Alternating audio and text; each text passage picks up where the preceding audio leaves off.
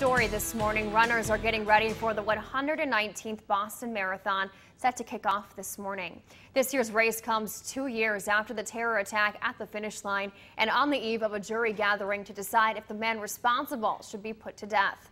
Participants and city leaders are staying positive today, calling the marathon finish line a symbol of strength. You're running for a higher purpose. You're running for other people. You're running for the survivors, the victims, the families. This is about celebration. This is about our state. Uh, it's school vacation week. It's Patriots Day. We've got a Boston Red Sox game in town. These are all things that we should be celebrating. Runners will find increased security, including more officers on bicycles and more fencing separating racers from spectators.